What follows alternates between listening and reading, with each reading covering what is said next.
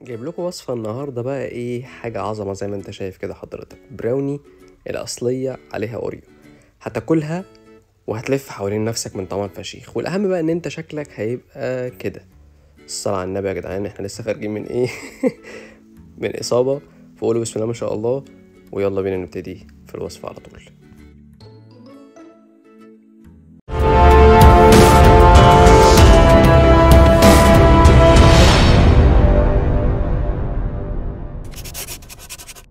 السلام عليكم ازيكم يا شباب؟ واهلا بيكم في فيديو النهارده معاكم ميجو The Migo Fit فورمتك في البيت. لو دي أول مرة تزور فيها القناة بتاعتي أهلا وسهلا بيك. سلام عليكم. اسمي ماجد بيقولوا لي ميجو عشان كده اسم القناة بتاعتي The Migo Fit اكمني online coach فورمتك في البيت اكمني بتمرن في البيت بقالي أكتر من 10 سنين دلوقتي. هدفي من القناة دي إن أنا أفيدك بأي حاجة أنا بتعلمها أو اتعلمتها أو لسه هتعلمها. وده بيكون عن طريق التمرينات اللي في البيت اللي أنا بلعبها الوصفات الصحية اللي بعملها ال vlogs ال review أي حاجة ليها علاقة بالرياضة وأي حدث viral حوالين العالم لو ليك في أي حاجة من الكلام ده ما تنساش تشترك في القناة والأهم يا جماعة لو سمحتوا من الاشتراك في القناة إنك تفعل جرس التنبيه. عشان 90% من المشتركين في القناة أصلا مشتركين بس ما بيوصلهمش أي إشعارات لما بنزل فيديوهات. ده كده زيك زي اللي مش مشترك بالصلاه على النبي طيب بسم الله يا شباب. بصوا كده بقى أنا هوريكم ال recipe دي من كتاب الطبخ بتاعي والخطوات وكل حاجة. طبعا لكل ما يعرفش يا جماعة أنا امبارح صورت أول آه، أكلة في كتاب الطبخ وهو بسكوت ال digestive في ال box ده. وكنت نزلت لكم الفيديو على التيك توك واديتها لأمي كمان.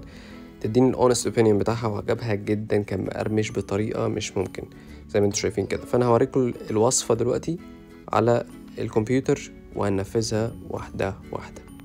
دي الفولدرات ودي الحاجات اللي أنا أنجزتها so far نفتح البراوني بكل الأنواع. طبعا إحنا عندنا 500 نوع براوني. عندنا براوني قليل السعرات عندنا متوسط السعرات عالي السعرات بحيث إن أنت أصلا لو ما تعرفش أي حاجة في السعرات الحرارية خالص هتاكل براوني يعني هتاكل براوني ايا كان سعراتك المتاحة هي إيه. عايز تعمل pause للفيديو؟ أنا ما عنديش أي مشكلة خالص. أنا بوريكم ده زي sample كده إن كل حاجة هتبقى مكتوبة بالتفصيل الممل. والكتاب ده يا جماعة إن شاء الله بإذنك يا رب هينزل على آخر السنة دي. فلكل اللي سألني ادعوا لي كده عشان الموضوع متعب جدا. هنعمل ال apple sauce زي ما أنا كاتب بالظبط. في الكتاب وال apple sauce ده حاجة لا يمكن الاستغناء عنها بعد ما تقشر التفاحة بالمنظر اللي انت شايفه ده. هتقطع التفاحة لمكعبات صغيرة علشان هنبتدي نسلقها أو هنعمل البيوري طبعا القشر ده مش هترميه في الزبالة هتاكله يعني. أنا كده كده في السعرات الحرارية حاسب تفاحة كاملة. هتحط الطاسة على النار وبعدين هننزل بشوية مية تقريبا نص كوباية زي ما أنا كاتب لك بالظبط. وبعدين هننزل بالتفاح المتقطع كل ما نقطعه كل ما يكون أسهل في إن هو يتسلق أو يتعمل بيوري وبعد كده تنزل عليه. ممكن تنزل بسكر diet. أنا بحبه من غير سكر diet. بحب القرفة فنزلت عليه بالقرفه بعدين وانس ان كده هتبتدي إنك تضغط عليه زي ما أنت شايف كده أو تهرسه. هو كده كده مع المية هتلاقيه بدأ يطرى وبدأ يتحول لبيوري زي ما أنت شايف كده. يفضل يستمر برضو في العملية ديت النار متوسطة زي ما أنا كاتب بالظبط في الكتاب ممكن ترجع لفيديو أو ممكن تعمل pause بعد لما تخلص البيوري كده ممكن بدل ما تقعد تهرس فيه زي ما أنا بعمل كده ممكن تحطه في الخلاط تضربه أسهل. دول 30 جرام دقيق أبيض وعادي تاكل دقيق أبيض زي ما قلت لكم قبل كده يا جدعان. 10 جرام كاكاو خام أنا بستخدم دريم. 3 أكياس أو 5 أكياس السكر diet القذر. معلقة صغيرة من ال baking powder الكيس ده بيبقى مفتوح أمي بتقولي لازم تلفه كده عشان ما يبوظش معرفش الكلام ده صح ولا غلط.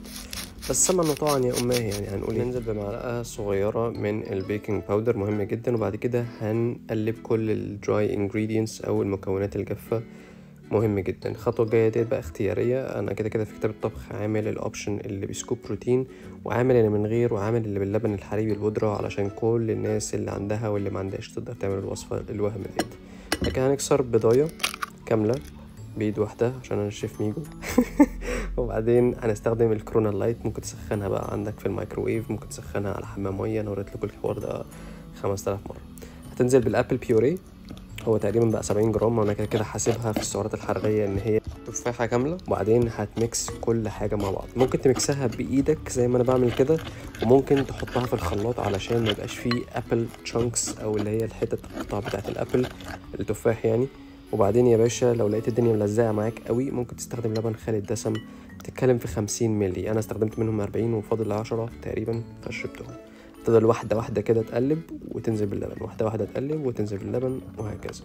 العجينة شكلها بقى عامل زي العجينة بتاعت ال brownie الأصلية بالظبط. أنا كنت سخنت الشوكولات هنا في حمام مية. ممكن تعملها بالمايكروويف ممكن تحط عليها نقطتين لبن ممكن تحط عليها شوية آه لبن أو مية. مفيش أي مشكلة خالص. ممكن تحطش حاجة خالص. في ناس بتحط زيت بس فاكس.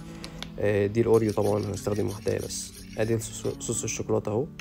طبعا أنا زودت مية بغبائي. انت ممكن تقلل مية وممكن تستخدم بس آه، شوية لبن صغيرين زي ما قلت لك. وبعد كده هننزل بالشوكولاتة ديت على ال mixture العظمة بتاعنا. انزل بقى كده يا باشا إيه ودلعني. في اللحظة دي عزيزي المشاهد لازم نقول إيه يا دلع دلع حبهم بالعيد وولع. صح كده انت كده متابع. انت كده فانزاية أصيلة. هنقلب بقى معرفش يعني إيه نمكسه بس أنا بسمعها من الناس اللي من اسكندرية بيقول لك نمكسه كل حاجة مع بعض. فاحنا هنمكسه كل حاجة مع بعض زي ما انت شايف كده لحد ما كل حاجة ت get mixed إيه ده؟ مكسه جاي من mix والله تصدق أول مرة آخد بالي؟ ما علينا. هتجيب مولد صغيرة تقريبا الديامتر بتاعها مش هيكمل العشرة سنتي وهتجيب ورق زبدة. مهم جدا ورق الزبدة يا جماعة. بعد كده هتفرد ورق الزبدة على المولد ده. ده حاجة ملهاش أي علاقة بأي حاجة خالص. ده شكل الفاكهة كان عاجبني بس فصورته. هتفردها عليه بالمنظر ده وبعد كده هتبتدي تنزل بالباتر أنا مش عارف ليه أنا بس أنا مصور الفيديو ده بقالي بقالي حبة حلوين يعني. وبعدين بقى طبعا عشان ماسك الكاميرا بإيد ف قعدت أنزل واحدة واحدة بمعلقة فطبعا ده ده عبط. آه، أنت هتمسك الكمية كلها وهتنزل مرة واحدة. نديها المعلقة التانية وبعد كده الكمية كلها وبعدين دي هتجيجل بقى كده تقعد تهز فيها عشان تطلع لو عليها اي فيها أي بابلز هوا.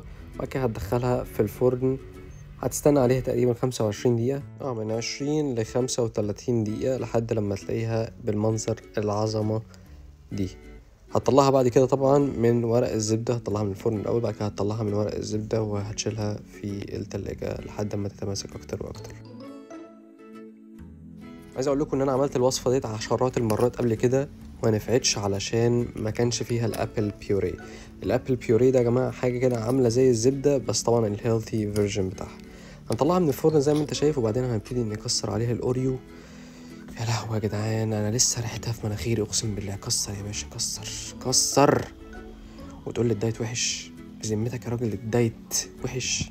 شايفين العظمة يا جدعان؟ ده هيبقى sample بسيط أقسم بالله من كتاب الطبخ اللي هنزله. اتقلوا هتاخدوا حاجة عظمة. شايفين بقى حتة ال apple أو حتة التفاحة دي يا جدعان؟ شايفين طرية إزاي؟ اديها بقى إيه دوقة كده خفيفة. إخلص يا عم. اديهم بقى أيوه. يا جدعان أقسم بالله طعمها فشيخ فشخ. لا إحنا لازم نديها واحدة كمان واحدة كمان واحدة كمان اخلص. أيوه. أوف شايفين يا جدعان moist إزاي؟ يا لهوي يا جدعان على الدلع. يخرب بيت أم الدلع. أيوه اديها دوقة بقى كمان. كم واحد اللي خلفوني. وبس دي الوصفة بتاعة ال brownie آه، بالأوريو. طبعا في 500 version. في براوني بالمالتيزرز. بالايس كريم اللي بالايس كريم دي على فكرة أنا عاملها على القناة هنا ومنزلها قبل كده. ام امز وفي بالايس كريم العادي. في كل حاجة ممكن تتخيلها في ملذة وطب يا رب الفيديو بتاع النهارده يعجبكم يا شباب ما تنسوش تشتركوا في القناة خلينا نوصل أم ال 30000 ولا ال 50000 اللي إحنا مش عارفين نوصلهم دول. ما تنسوش تشتركوا في القناة وتفعلوا جرس التنبيهات اللي هتشتري ملابس رياضيه في كود الخاص معاك التن. واللي عايز يتابع معايا اونلاين هسيب رقم الواتساب business بتاعي في أول comment أشوفكم الفيديوهات الجاية. و peace